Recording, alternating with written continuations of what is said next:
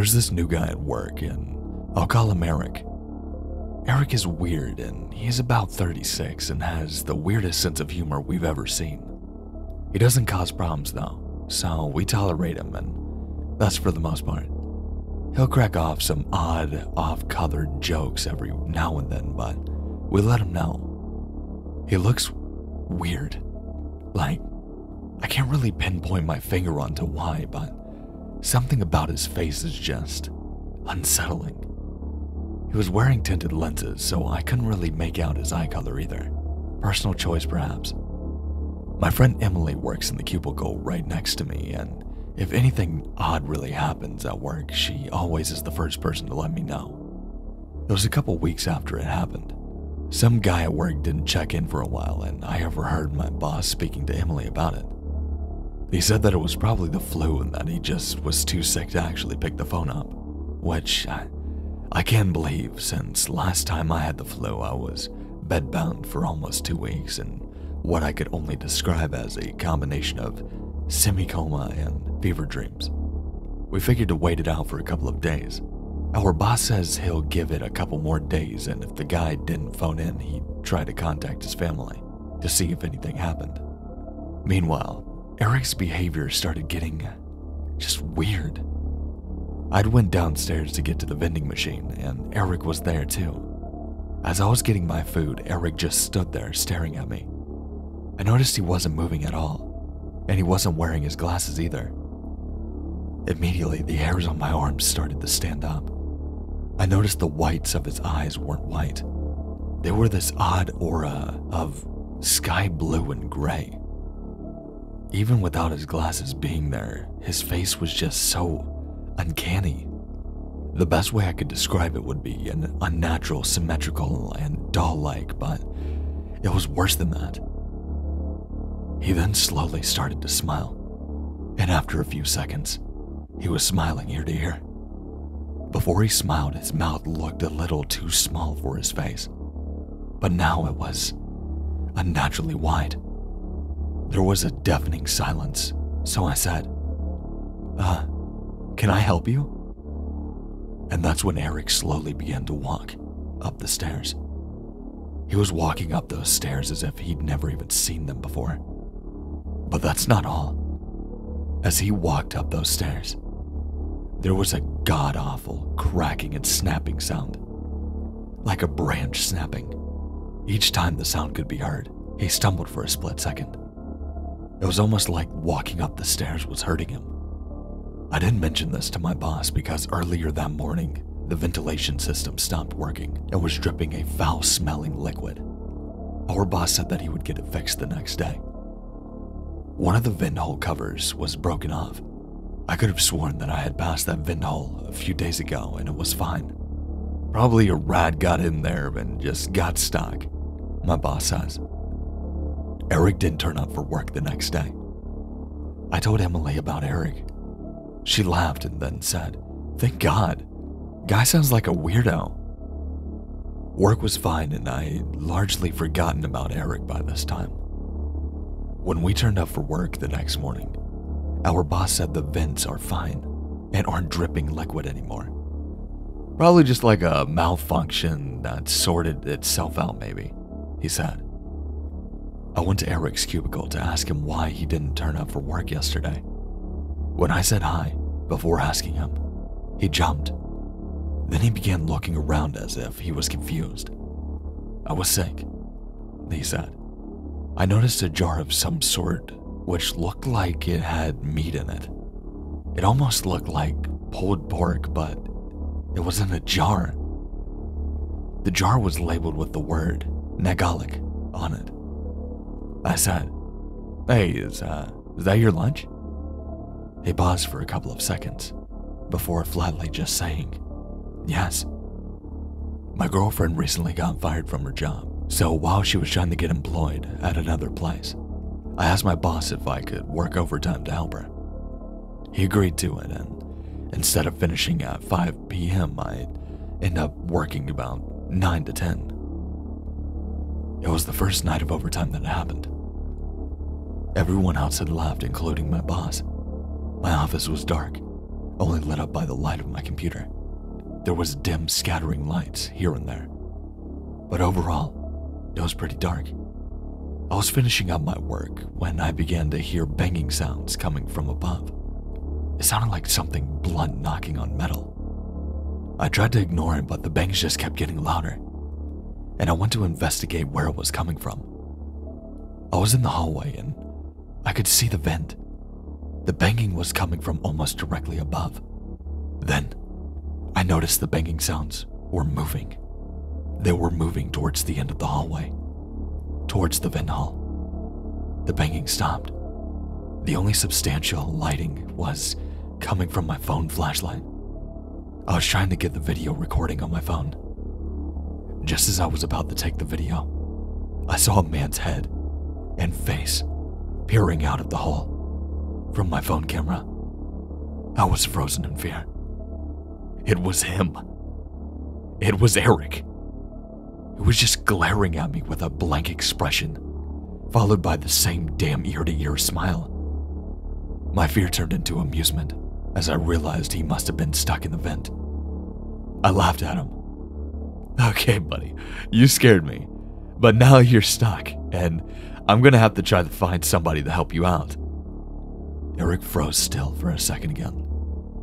There was no way he would be able to fit through what looked like to be only about an 8 by 8 I don't think even children could fit in there. That's when Eric thrusted his arms forward. I heard those god awful snapping and crackling again. His shoulders looked completely broken as he made his way out of the tiny little vent.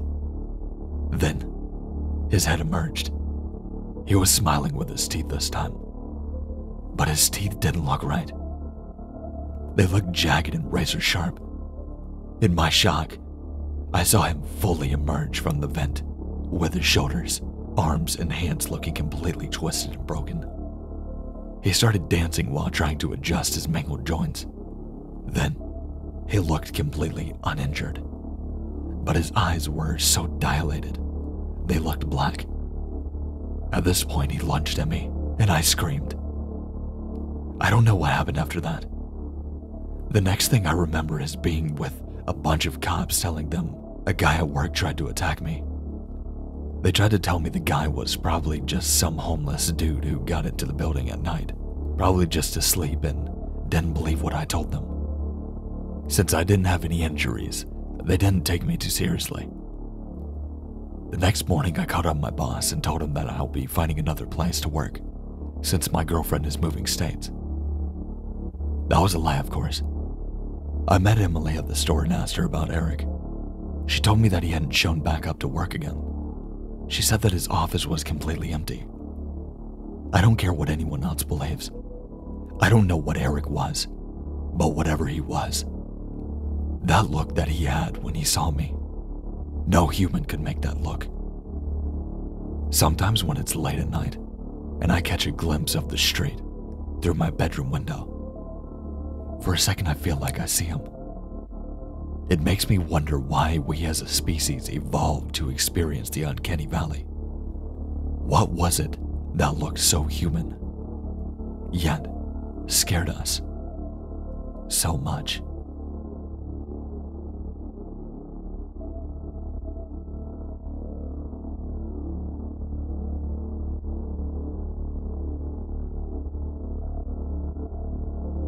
I had been homeless for two years when I found the Shady Acre apartment complex. Before that, I had been sleeping under roadways and behind dumpsters, which were some of the lowest points in my life. Having found the mostly completed apartments, being abandoned before they were officially completed, was like hitting the jackpot for someone like me. Tucked away in a cleared lot nestled against the woods, on the slower part of town, the Shady Acres were a complex for newer families and lower income individuals, but somehow, it never found itself finally being completed. The walls were not painted, and the flooring was not yet installed, but aside from the minor features, the place was practically livable. Of course, electric wasn't working alongside the water and plumbing, but as the saying goes, beggars can't be choosers. I peeked my head inside as I entered the first floor. Tools, materials, and odds and ends still laid strewn about, as if someone was going to come back to finish the job, or at least clean up the mess. But it appeared that no one ever did. I grabbed a sizable pipe laying on the ground, just in case. Homeless people, if startled, can and will turn violent very quickly. I did a brief inspection of the main floor, peeking my head inside of doorways to confirm that I was alone in this substantially sized building. But sure enough, I couldn't find anyone else. As I continued to inspect the main floor, I found a stairway. A metal door once stood in the way, but now laid on the ground. It was clear that someone had damaged it with some type of tool in order to keep it open. I went to the stairway and looked inside. The natural light provided by the sun, aided by the many windows, could only spill over so much. Inside was a set of stairs going both upwards, but also downwards below. I didn't have a flashlight, but what little natural sun entered the stairway was just enough to give me the courage to explore upwards. I went up the metal stairs quietly, so as to not alarm anyone else to my presence here. The second floor was nearly identical to the first. I walked down the halls gripping the pipe, ready to defend myself from any unknown attackers. Again, much like the first floor, I didn't see anyone. However, I did find troubling signs of people having lived here at one point. I saw an old mattress littered with trash and old cigarettes, clothes tossed in a pile in the corner of the room. Several dark stains covered the floor, and one splattered on the wall next to the head of the mattress. My heart sank. It was more than likely something sinister had been committed here. I was going to turn to leave, but alongside the disheartening evidence of someone being here, I found a flashlight and an old pistol. I took both and checked the gun to see that it still had three bullets remaining in the cylinders. I was going to leave, but seeing how now that I had a gun and a flashlight, this changes things. The flashlight worked perfectly, emitting a strong blue LED light on the stained wall when I clicked it on. I still kept the pipe with me as a backup, but the pistol was now firmly gripped in my right hand. The second floor had bits and pieces of trash here and there, but nothing else as concerning as what I saw in that one room. I entered the stairway with my flashlight guiding me. Unlike the first two floors, the third floor had an actual door standing at the entrance. Lucky for me, the handle turned slowly when I tried it and granted me access. A quick inspection of the door revealed a marvelous find. This door could be locked from the inside. If this floor was clear, this would be a great setup. I could lock the door and prevent any vagrants, much like myself, coming up here and killing me in my sleep. All I would need to do is verify that the floor was clear, and I'd be all set. The third floor had varied greatly from the first two. No bits of drywall on the floor, or discarded nails laying haphazardly. There still wasn't any electricity, but nothing my new flashlight couldn't handle. The floor was unfinished but oddly clean, as if it was getting prepped for carpet or new flooring before this place shut down. I cleared each room slowly, making sure to check every closet and cupboard before finally letting my guard down. I went back to the stairway and locked the door, preventing anyone else from coming up. I picked a room facing the parking lot. That way I could look out and see if anyone was coming. I spent the rest of the day in my newfound home. The flashlight and gun were an amazing find, but that unsettling sight of blood-stained floor and walls were somewhat concerning. Maybe it was something else. Perhaps someone spilled something there and it just looked bad, I thought to myself, trying to not freak myself out as much. The thought also crept into my mind about how I yet to inspect the basement and what horrors lurked down there. For being homeless, I was fairly paranoid. I made myself a game plan for tomorrow that I would go out and find cheap furniture and food to fill my barebone apartment. It would take several trips, but well worth the effort. Nighttime and boredom eventually found me, I sat in the corner of the room trying to get comfortable and let sleep carry me away into tomorrow, but it was difficult. Sure enough, I managed to fall asleep, but staying asleep was another story. I woke up in the middle of the night. I didn't have anything to check the time, but it was several hours before the sun would be rising. I got up feeling the urge to go to the bathroom. This complex didn't have running water, so I'd have to go outside to relieve myself. I grabbed the gun and the flashlight and walked over to the stairway and unlocked the door.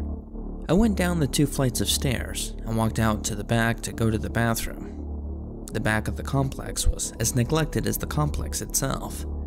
Tall weeds filled the field that stretched out to the dark trees. Moonlight was scarce, and a cool chill breezed over me as I went to the bathroom. I glanced at the complex as I did my business.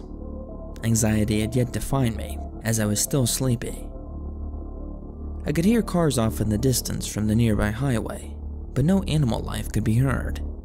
It was probably too cold for them, I thought as I pulled my pants up and made my way inside. I entered the hollow shell of the first floor. Stealth was not my main concern, seeing that sleep was my only goal. I entered the stairway, ready to ascend back up to my room of safety, when I stopped. For the briefest of moments, I could have sworn I heard what sounded like mumbling down below into the basement. My flashlight was on, but I didn't dare shine it down into the basement. In fact, a moment of curiosity washed over me as I turned my flashlight off and listened in the stairway. I gripped the gun as I stepped over to the stairs that led downwards. My suspicions were confirmed as I felt my way down a step or two to hear more clearly the rambling of someone down there. I paused for a moment, unsure of what to do. Whoever was down there sounded as if they were speaking and no one else was responding. Perhaps a mentally ill person took shelter down there. I walked back up the stairs silently as the soft mumblings of whoever was down there slowly faded beneath the stairs. I was fairly fit and mentally strong, so having an altercation with anyone would be more likely in my favor. I made it to the third floor, and the sound was no longer existent. It was clear that the distance between us had enough cushion to drown out the sound from either of us, which was relieving.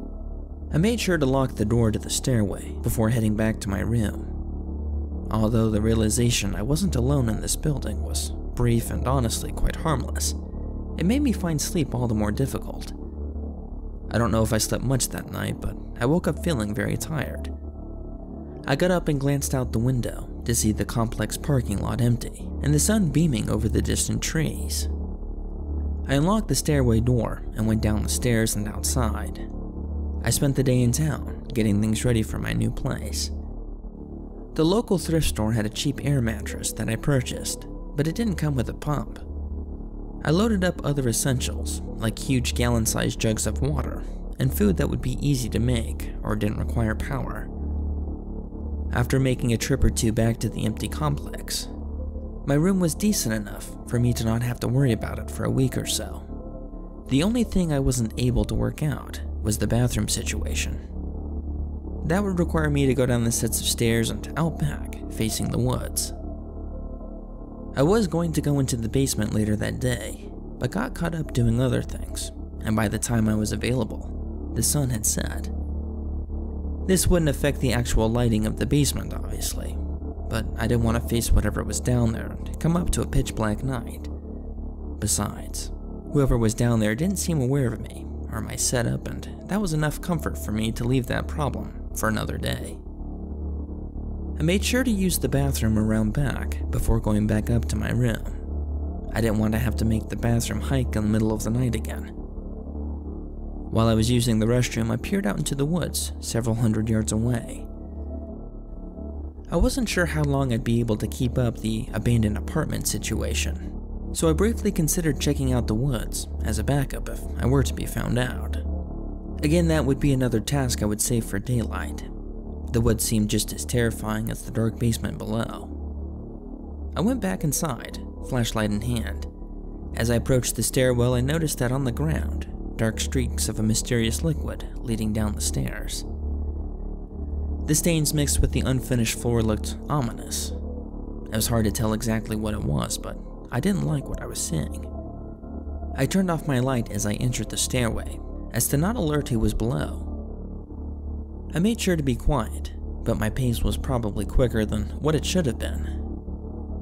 I opened the third floor and locked it behind me. I did a quick inspection of the third floor as a safety precaution, but Everything looked how I left it. I was tired from all the walking, mainly having to carry all my stuff around, and setting up my room took all my energy. I laid on my air mattress and closed my eyes, trying not to think about anything as sleep began to grab hold of my consciousness when a faint noise jarred me awake. It was subtle, but my mind, being on high alert, was able to detect movement down below. Normally, I would not have been able to hear what was rummaging down beneath, but since the complex didn't have windows to insulate the noise, I could faintly hear the sound of someone walking around.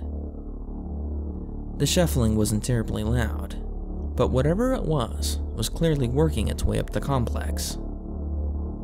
What concerned me wasn't the noise itself, but rather how things sounded. There was a hint of stealth in the movements, like whoever it was didn't want to be detected. I followed the sounds beneath me as I laid in darkness. I lost track of where they had went when they were over near the stairwell. I sat up on my mattress and looked over in the direction of the stairs. Did I lock the door to the stairs? I thought. I had been so busy that day that it was very likely that I had forgotten. I got up slowly, doing my best to keep my sound low. In my hurry, only brought my flashlight to guide me through the darkness of the halls. I quickly made it to the doorway and tugged on the handle. I did remember. I breathed a sigh of relief and turned my light off. I sat by the door, my nerves slowly getting worked up. I need to stop overthinking, I whispered as I sat in silence after spending 15 minutes trying to locate the sound beneath me. I was ready to get up and head back to my bed when a jostling of the door handle startled me. Someone was outside the door. A brief rustling on the handle shocked my anxiety as I sat in darkness. I could hear someone talking to themselves, but the handle had stopped shaking.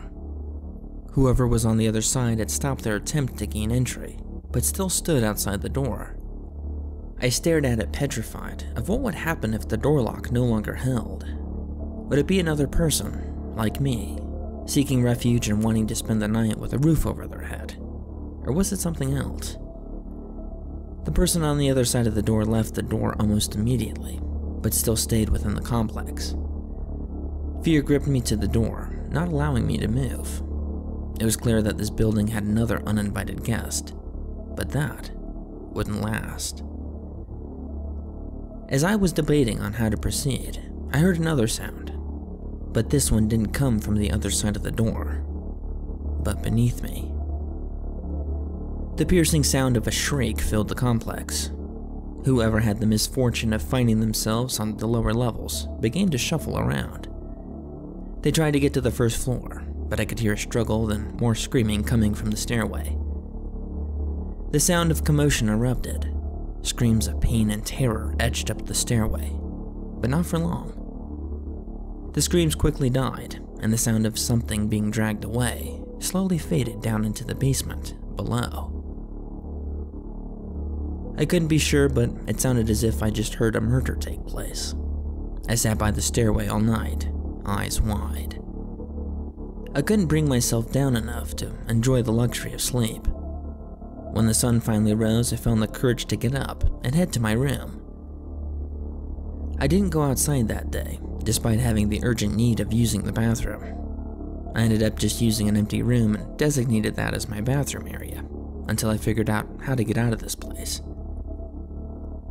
I had enough food and water to last me a couple of days, so I had time to figure out what I wanted to do. During the day, sleep finally overcame me, and I drifted to a realm of peace, but that wouldn't last.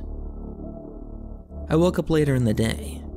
The sun was completely smothered behind rain clouds, and loud rumblings of thunder rolled in the distance. I could hear a few droplets hit the roof and the windowsill, a prelude of what was to come. The complex was much darker now. My flashlight was needed for just about anything. The day was only going to get darker, so I had to decide stay another night and hope that I can evade notice for 10 or so more hours or sneak my way out of here. I grabbed the pistol and decided to try my luck. I packed up as much stuff as I could carry in one take and headed for the stairs. I made my way over to the door and unlocked it, my light beaming into the thick darkness below. I made sure to check the close was clear before leaving my sanctuary. I slowly descended the stairs, doing my best to navigate the metal steps while also keeping my noise down. I slowly completed the first flight of steps, and nothing seemed out of place. On the second floor, my fears had been confirmed. I could see drag marks leading to the stairs, with stains accompanying it. I wanted to check out the second floor more, but my nerves wouldn't allow it. The drag marks continued down the steps, leaving thick stains of blood and bits and pieces of flesh. This wasn't just a killing. This was a mutilation. Whoever had done this was disturbed, and they were the last person I wanted to encounter in this dark stairway. I needed to leave. The rain had already begun to come down now. I would get soaked the second I'd step foot outside, but I had to do it. I was frustrated by this new development, since I would not be able to hear as well if something was heading towards my direction. I worked my way down to the first floor, but halfway down, my light reached something at the bottom of the stairs that stopped me cold in my tracks. Standing in the corner of the stairway next to the exit stood an absolutely horrid creature. The creature stood hunched facing the corner. My light only caught the lower half of the figure before I turned it off, but it was enough for me to piece what I thought the creature looked like together. The brief moment of horror revealed something blocking my exit. Had it not been standing, I would have thought it was a rotting corpse. Flesh peeled from what limbs I could see, and bone appeared to be jetting out of the lower spine. I didn't get to see the rest of it, and I'm kinda glad I didn't. I held my breath as my heart began to race. I was immersed in darkness with whatever this thing was, a dozen or so feet away from me. Rain and thunder continued outside, now thankfully concealing my sound. I couldn't see anything, but what little I could hear, it didn't sound like it had moved. I stood petrified on the stairs, knowing fully well I wasn't able to make it out of here this way, at least in one piece. In moments like this, you really don't think clearly.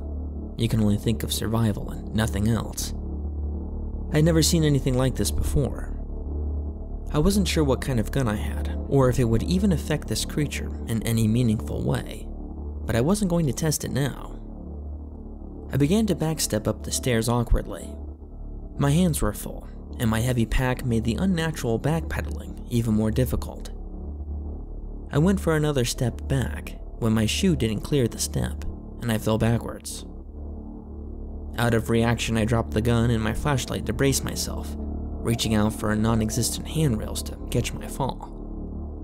The thud of the heavy flashlight on the metal stairs clamored loudly as it fell down the stairs, echoing in the stairwell. I gasped. A shock of anxiety and dread flooded my system. Without a doubt, I had gained the attention of whatever lurked just beneath me. I dropped my backpack to lighten my load and felt around for the gun. Shrieks filled the complex. As an odd twist of events, it would appear that I had startled whatever was down there. I could hear shuffling beneath me.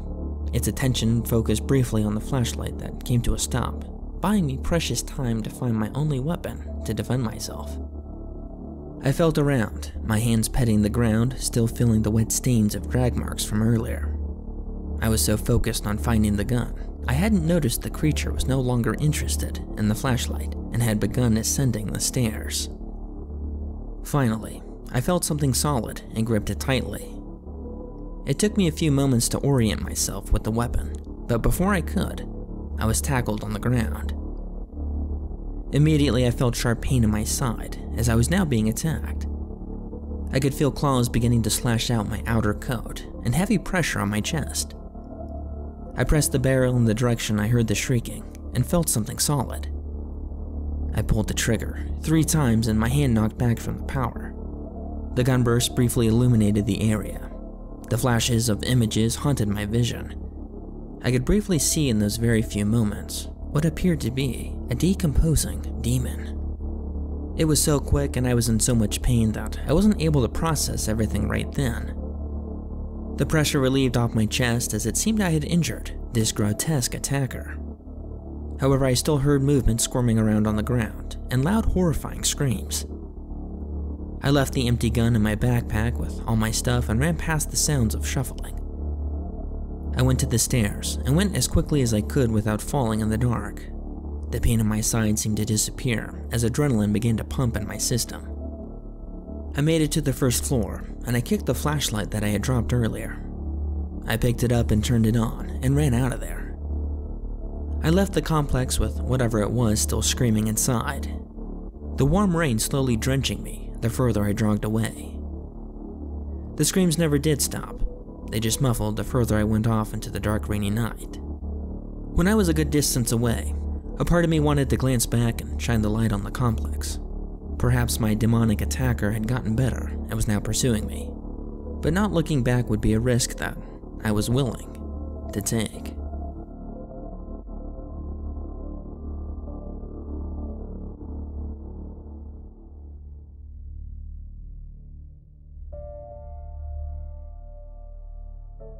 Thanks for watching. I really hope you enjoyed it.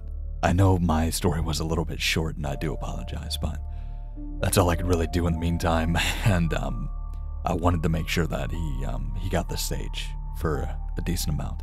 But I do want to say thank you for joining us today. It really does mean a lot, and especially since I've actually been watching your content for a while now, it actually uh, it's pretty cool to uh, be able to have you on. And I know you're gonna watch this, and I really hope that you do listen to the outro. But but um, if you like this and you would like to see more of these, like the um, featuring other people and stuff like that, make sure to let me know. Make sure to like, comment, and if you're new to this channel, make sure to subscribe. I've got a lot of content, a lot more coming, so just know that.